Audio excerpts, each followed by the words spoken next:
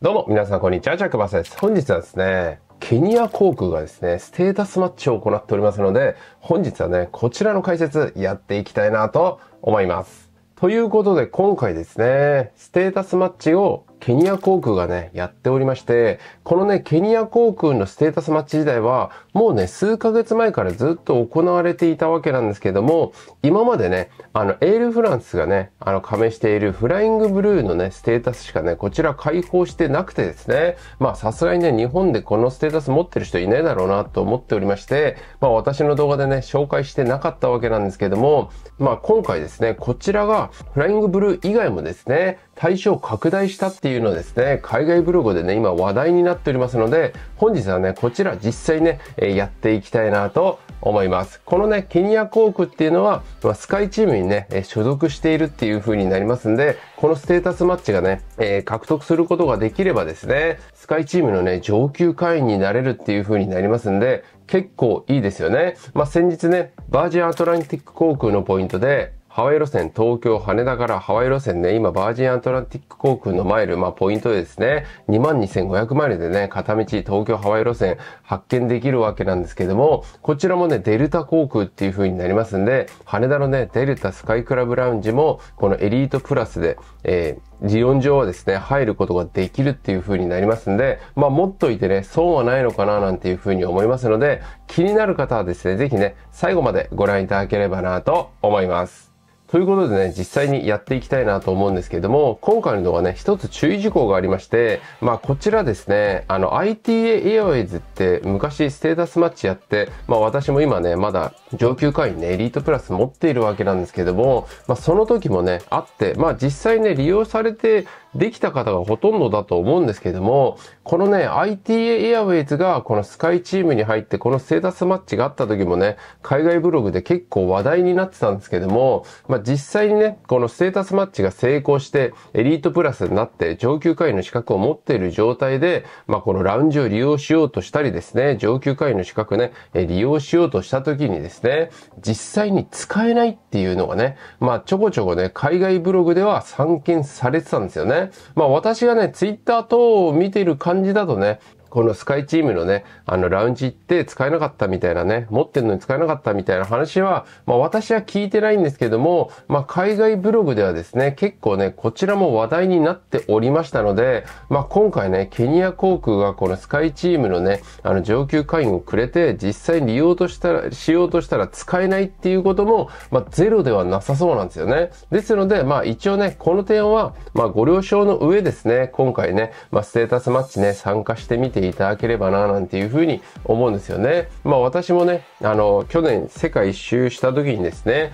ロンドンからローマに行った時だったと思うんですけども、私もね、その時、あの、スカイチームの上級会員ね、あの、見せたわけなんですけども、最初理解してもらえなくて、手荷物有料って言われたんですよね。でも私、スカイチームの上級持ってるんで、そんなことはないっていう話をして、まあ結局最終的にはね、ITA エアウェイズのあの、ステータスの特典一覧みたいなページが英語ページでありますよね。まあちょっと英語ページだったかちょっと覚えてないですけれども、まあそのページありますよね。まあそれをね、あの、グランドスタッフの方に見てもらって、で、私はエリートプラス持ってますよっていうのをね、まあ、一緒に確認したら、まあ、最終的にね、無料にはね、してもらえたっていう風にはなるわけなんですけども、だからこの、簡単に言うとこのケニア航空がスカイチームに所属してるのを、まあ、情報共有されてないみたいな、まあ、こういった感じなのかななんていう風に思うんですけども、一応ね、こういった感じにっ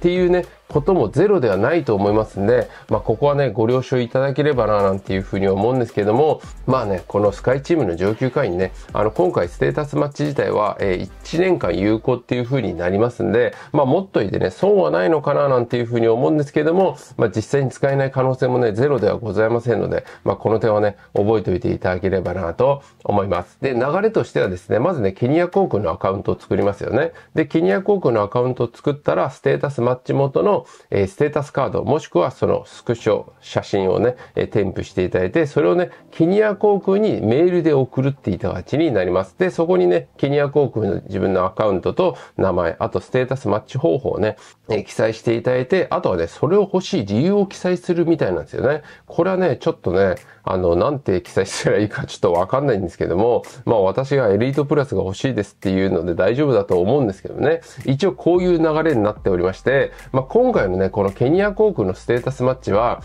あの、公式サイトがあって、あの、規約みたいなのが見れるわけではなくて、えー、海外のブログで話題になって実際にできている方が多いみたいな、まあ、こういった感じになっておりますんで、まあ、ここもね、あの、日本人のアカウントは跳ねられるみたいなね、まあ、その可能性もゼロではございませんので、まだね、私も今からね、実際に一緒にやっていこうと思ってますんで、もしかしたらね、まあ、私は申請して、私が通った、他の人は通らない、この人は通るみたいな感じになってしまう可能性もね、ゼロではございませんので、まあ、この点もね、覚えておいていただければなと思います。ということで、やっていきましょう。それではね、実際にやっていきたいと思います。ちょっと今これ Google 翻訳になってるんですけど、一応ね、この完全登録っていう方からやってくださいって書いてありました。ブログの方にね。はい、海外ブログ。あ、でも、あれですね。Google 翻訳的にはちゃんと見れそうなんで大丈夫そうですね。はい。あ、いいですね。はい、もうちゃんと見れる。大丈夫ですね。はい。大丈夫そう。ということで、やっていきましょう。今すぐ作成する。持ってない。チェック入れなくていいですね。で、ここでね、個人情報を入れていきましょう。はい、ということで、今ね、あのいろいろ入れ終わったわけなんですけども、ちょっとね、わかんない部分が多いんで、とりあえずね、えっと、Google 翻訳で、え翻訳しつつね、やってるんですけども、え下の方にね、書類番号っていうのがあるんですけど、これがパスポートの番号を入れる番号なのか、ちょっとわかんないですけど、ちょっと一応そこね、パスポートの番号を入れました。で、その下のね、ドキュメントタイプはパスポート番号にして、あと座席の好みとかね、食事の好みとかね、あるんですよね。ちょっとこれはね、わかんないですけども、ひとまず、あの、適当に入れました。はい。ということで、次に進みます。で、次にアカウント情報ということで、メールアドレス等々をね、入れるみたいです。で、次に接触ということで、これはちょっと何なんだろう。英語に戻す。あ、コンタクトということで、これは電話番号と住所とかですね、入れていきましょう。入れててね、わかんなくなったら、まあ、英語にね、一回戻すと結構わかったりいたしますんで、ちゃんとね、カントリーが日本で選べて、で、またね、神奈川とかも選べる。ちゃんとしてますね。で、次にね、えー、ページに行くと、通信設定ということで、E メール、SMS、電話、モバイルプッシュ。こんなんでいいか。これも私使ったり、役職ってちょっとよくわかんない。まあいいでしょう。では、これまあ今すぐ参加で。あ、これで正常に登録されログインできるようになりましたということで、ログインしてみましょう。ではね、今ログイン完了してログインしたわけなんですけども、あの、ログインするとね、はい。ちゃんとメールもね、届いてますね。はい、素晴らしい。で、ちゃんとね、今、これが今英語ページなわけなんですけども、ちゃんとね、アカウント通れてますね。アカウント番号がちゃんと載っていて、なんかしないけど、1500ポイントもらいましたね。はい。これ何かに使えるかどうかちょっとよくわかんないですけども。はい、今、マイスペー、マイステータスはね、ロビーみたいですね。はい。ルビーなのかな？あ、ルビーかな？ちょっと読み方わかんないですけども。ひとまずこれでね、えー、っと、アカウントは取れましたので、まあ、ひとまずね、これのスクショを取っておきましょうか。会員番号と名前が入ってますんでね。はい。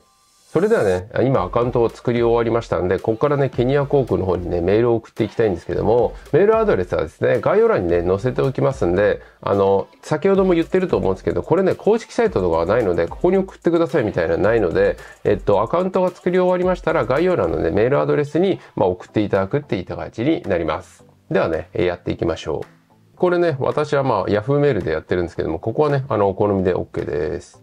ということで、ここに、えー、ケニア航空のメールアドレス。こちらが概要欄に載せておきますので、こちらね、えー、記載してください。で、では、件名は status match please とかでいいのかな？ちょっとわかんないんでね。はい。ひとまず、えー、っと、ケニアの、えー、アカウントと名前ね、えー、書いていきましょう。それでは次にですね、JAL のね、ステータスのアカウントページをね、あの、スクショを送んなきゃいけないわけなんですけども、あの、アプリをね、開いていただいて、今ね、あの、英語で表示されていると思うんですけども、この右下のですね、 more っていうところから、えー、っと、どれだったかな？これですね、 city language ということで、今ね、 Japan English になってると思うんですけども、まあ、こう、こうしていただくとですね、あの、ステータスの番号と名前がね、表示されるっていう風になりますんで、これでいいかなと思いますんで、一応ね、この英語表記にして、まあ、送っていただく。まあ、ここだけね、ちょっと注意していただければなと思います。まあ、これ日本語でやったら多分ね、あの、通らないと思いますんで、これのスクリーンショットを、え添付してね、いただきます。はい。ということで、これでね、えっと、ケニア航空のアカウントと、あとね、あの JAL のステータスね、あの、添付できたわけなんですけども、一応ね、形式が JPEG もしくは PNG っていう風になっているみたいですので、あの、スクリーンショットとかね、撮って、まあ大丈夫だとは思うんですけども、もしね、他のあの、形式とかに、ね、なっていたらですね、Google とかでね、検索していただくと、なんとか JPEG 変換みたいなね、あの、すぐね、変換することできますんで、形式だけはね、ちゃんと、あの、合わせるようにね、していただければなと思います。ではですね、ワンワールドサファイアからのステータスマッチをお願いしますっていう感じで、え記載してね、送りたいなと思います。では、これね、ディープルっていうサイトなんですけども、ここで、えワンワールド、多分これでいけると思います。このディープルっていうね、サイト、ちょっと今下に映ってたこれですね。はい。このディープルっていうサイトね、めちゃめちゃいいんでね。私はこれで世界一周しましたんで、このサイトはぜひ覚えておきましょう。あと忘れてましたね。あの、このステータスが欲しい理由がね、あの、記載するということで、ケニー、あ、まあ、一応これ、あの、海外のブログではね、一応欲しい理由が、記載がね、必要っていうことですね。では、これでね、OK ですね。はい。ということで、これでね、送信を記載なと思います。ベストレガードとか入れといた方がいいのかな。じゃあ、これを記載して送りたいなと思います。はい。ということで、今回ですね、ケニア航空のステータスマッチがですね、とうとうね、フライングブルー以外もですね、受付開始ということで、まあ、実際ね、やらせていただいたわけなんですけども、まあ、正直ね、これで通るか通らないかっていうのはちょっとわからないですので、まあ、もしね、結果が分かってからね、利用されたいっていう方は、私の動画のね、コミュニティ欄っていうね、ところがあるんですけども、あの、喧嘩時代はですね、そちらにね、まあ、記載したいな、なんていうふうに思いますので、まあ、もしね、利用できるかどうかはですね、実際に分かってからね、利用されたいっていう方は、そちらね、チェックしていただいてから、まあ、この動画の通りね、やっていただければ通るかな、なんていうふうに思いますので、まあ、そういった感じでね、利用していただければな、と思います。正直ね、このステータスマッチっていうのは、通るか通らないかっていうのは分かんないですし、もし通らなかったらまた何度かね、申請する必要もございますので、まあ、ちょっとね、あの、失敗したくないよっていう人はね、そういった感じで利用ね、していただければなと思います。まあ、1年間ね、エリートプラスね、もらえればですね、まあ、さ、冒頭にもね、言ってると思いますけども、羽田のね、デルタスカイクラブラウンジもね、利用することができると思いますんでね、まあ、持っていてね、損はないのかな、なんていうふうに思います。ということで、今回の動画はこんな感じで終わりたいなと思います。この動画が役に立った方は、いいね、チャンネル登録ぜひお願いいたします。私、ブログ、ツイッター、LINE 公式アカウント、インスタグラムね、やっておりますますんで、ぜひね、チェックしていただけるととても嬉しいです。それではまた次の動画でお会いいたしましょう。バイバイ